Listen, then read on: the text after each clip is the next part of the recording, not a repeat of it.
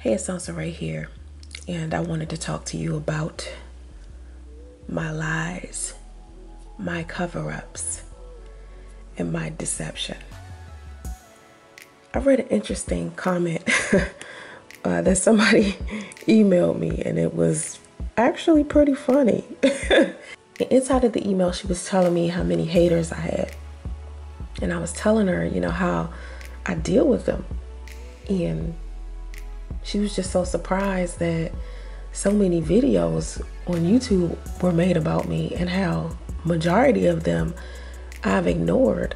And some of them that I've responded to I've actually deleted those videos since. So I'm telling her basically how I deal with it. And so this is what she wrote. That's why you're my little sis. No matter what anybody says none of us are perfect I want you to know it doesn't matter who reaches out to me that doesn't like you. I'm not going anywhere.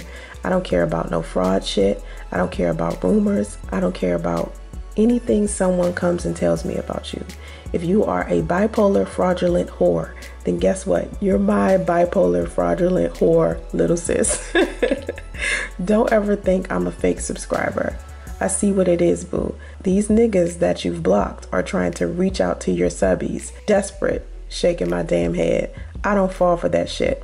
I'm looking at them like, why the fuck are y'all so invested in destroying someone who does not affect your personal well being? They truly act as if what you eat makes them shit. What the fuck? Just be careful with these trifling people on YouTube. I knew Angel wasn't about shit when he backpedaled and pussy popped his way out of a cap out of a collaboration with you. Fucking pussy. Afraid of the backlash from them trifling ass niggas that bash you. Well, if he truly had our backs, he would have said, fuck that. I'm still collaborating with her out of respect. Continue to stay beautiful and positive, little sis. Now, what's funny is when people tell me about the videos that they saw or the things that people have said about me, and I say, I know, people are surprised that I'm like, oh, I already know that this is happening. Or I think at first they're thinking I'm going to deny that I'm seeing people do this. But no, I see it. Um, what I haven't been seeing that she brought to my attention, what I didn't know is that people that I've blocked have been trying to contact all of my subscribers, which is gonna take a lot of energy, too much energy for my liking. I mean, it's 10,000 plus subscribers and none of them are fake. And no, I didn't buy them.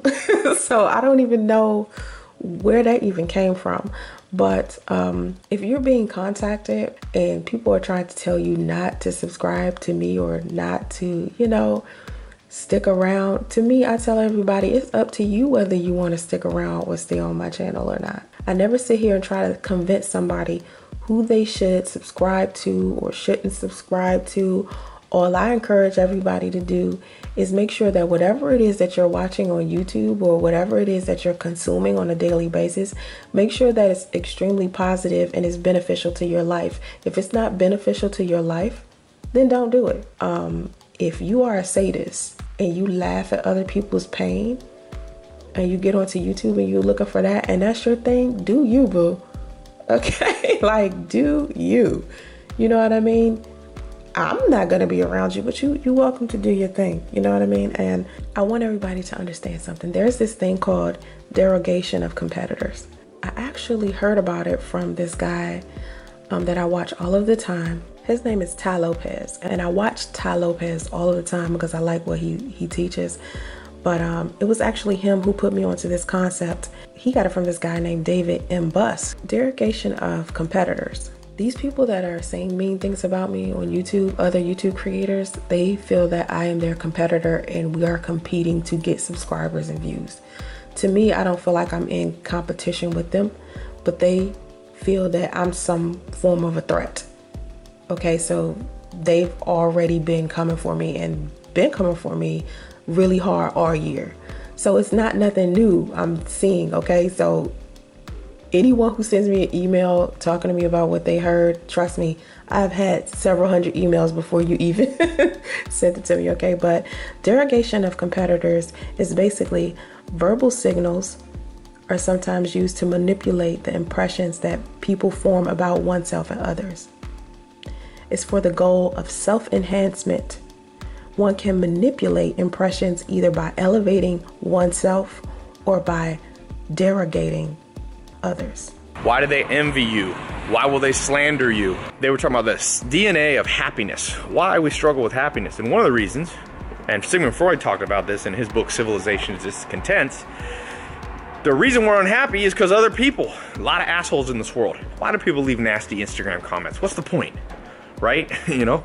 And the answer is found in one word, one phrase called derogation of competitors. What does derogation of competitors means?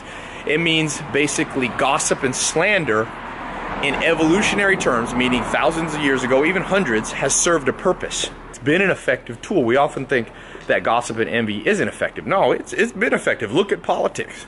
Look at the Trump and Hillary campaign going on right now. It's pure derogation of each other's character. And trust me, as you rise up, as you do bigger things, as you start to get noticed because you break out from the mold, first thing that happens, and this this shocks most people, people jump out of woodwork and tar- start talking crap. Now, sadism. This means there is a small percentage of the population, but vocal. They're small but vocal. You can see them on YouTube. You can see them on your Facebook and your uh, Instagram. That psychologists have actually identified the fact that they delight in the pain of other people. They'll delight in your pain.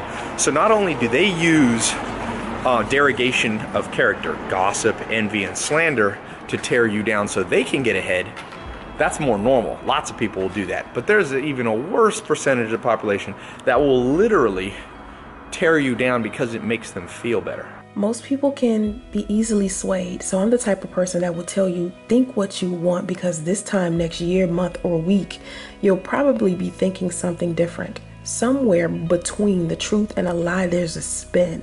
You too can spin if you look at data and filter it through your own biases and preach it like it's the gospel truth.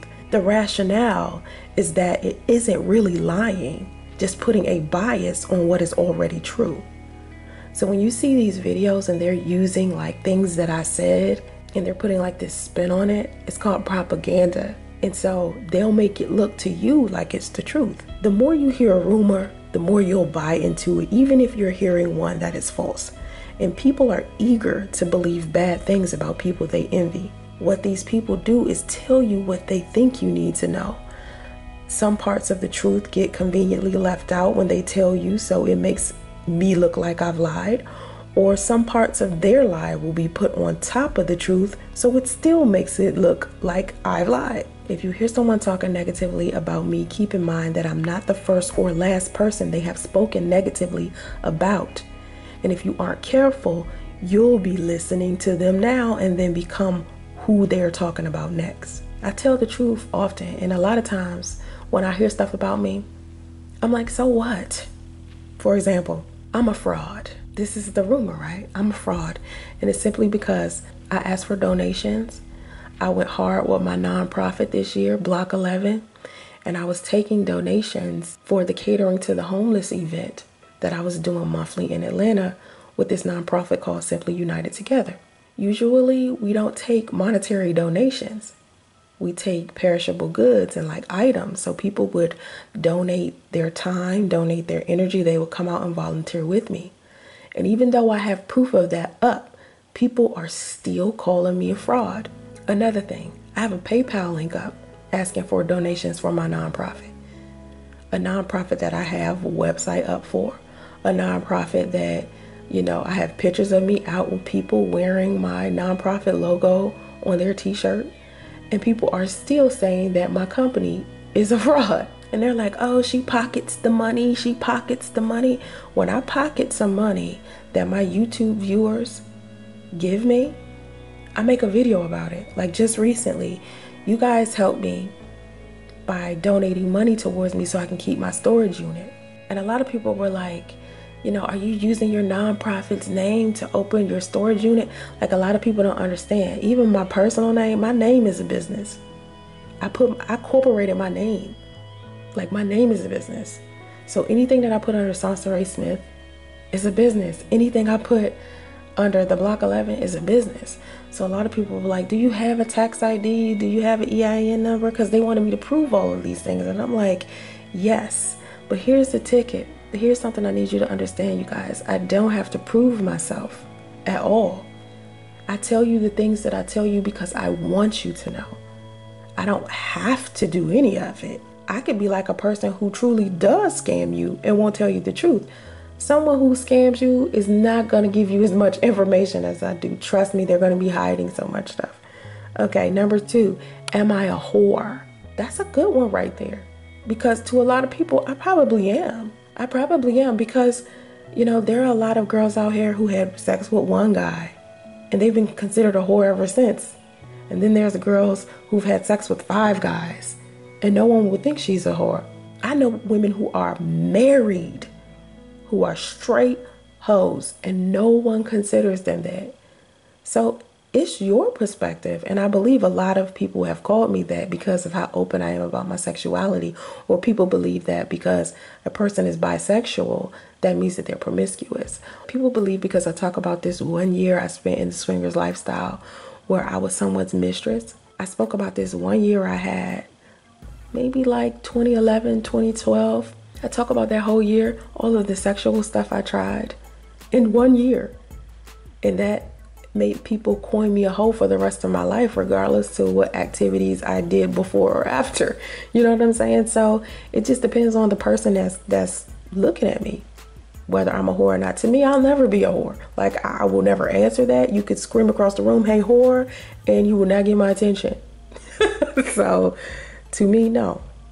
Number three, am I bipolar? And a lot of people say, hey, she must have a mental illness because one minute she's saying one thing, one minute she's doing another, one minute she's calm, one minute she's angry, one minute she's laughing. Um, the last time I checked, that's like what all people do. like, a lot of us are fun, a lot of us tell jokes, and all of us can get angry. All of us know how to love, all of us know how to laugh, all of us have cried all of us, you know, have our calm moments when we're chilling. Me, I show you all of who I am. You know what I mean? Like, I do not lie about who I am, I don't hide myself. So, if that comes off as bipolar to the rest of the world because I am a Gemini and it, I see how that could confuse you because I'm one extreme to another, it's that cut and dry with me. It's either yes or no, it's up or down. There's no in between. Even though I have a lot of balance with my life and I try to play fair, you know, I try to see both sides of the coin. I try to understand the lives of everybody and try to be fair and put myself in other people's shoes. So if I'm talking about a specific subject, I see how some people could be thrown off by it. If I don't believe what another person believes, they'll call me crazy.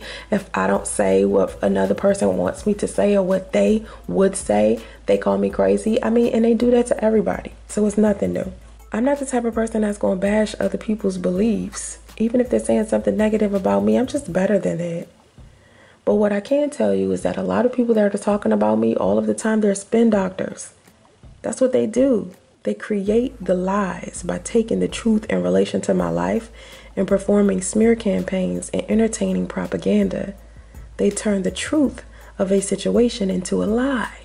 I can't stress enough how capable the more skilled manipulators are of using just about any behavior imaginable to accomplish their aims. It's a marketing and public relations type of thing when they're using trickery and psychological manipulation.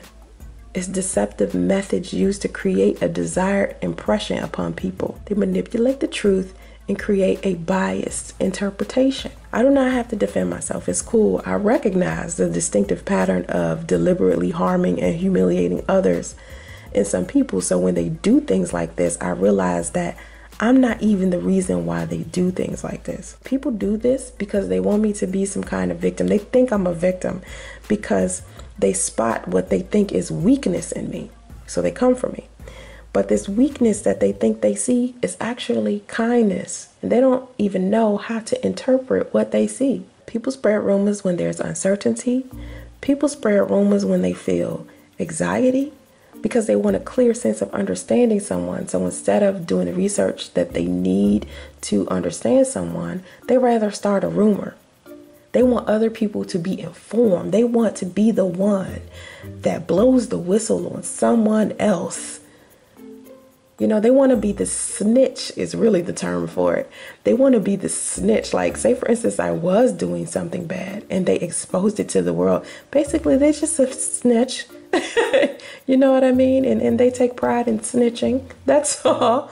But honestly, a lot of the stuff that people have made up about me is just lies and, you know, their perception. And, you know, they can perceive what they want to perceive. Um, people spread rumors because they actually believe it. Even even if they actually believe it, that does not mean that it's true.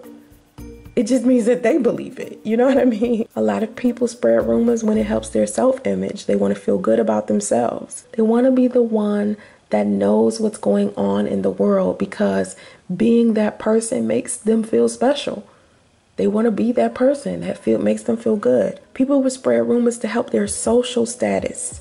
They want to have social ties with users and people on the internet and all kinds of stuff. If keeping me as a topic of conversation using nasty rumors and lies as a form of entertainment and that will help you with your anxiety and boredom, okay, go for it. I'm here to help you in any way I can. I just want everybody to have a happy life. You understand? So it doesn't bother me as much. I, I remember um, for a second. It bothered me for a little bit because I felt like people were trying to get too close into my personal life. Like, I don't like when people try to pull too much information that they're not supposed to even be talking about because we as people, we have boundaries.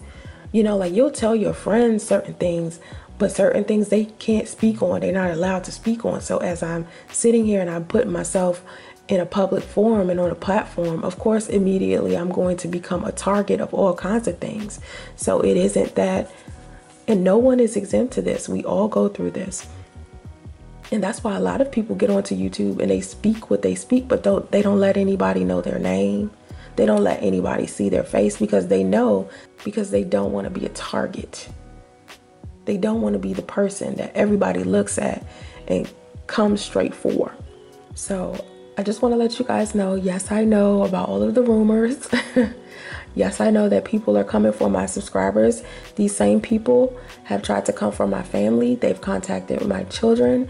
They've tried to find anybody I know on social media and just started talking about me. Anybody that's my friend or anybody that has a um, strong mind or knows better rejects them immediately. But like I said in the beginning of the video, people can be easily swayed. That's why I don't rely solely on the friendship of people. I rely on God because God is my strength. The universe is my strength. And that's the only thing that has always been consistent in my life. When I can't rely on people, I rely on God. And God is doing everything. Everything that's happened to me, all of the things that people saying about me, that's all a part of God's works and God's intentions to get me to exactly where I need to be because for every utter, every time somebody says my name, that's still promotion. Thanks for watching, guys. Have vision and stay focused. Namaste.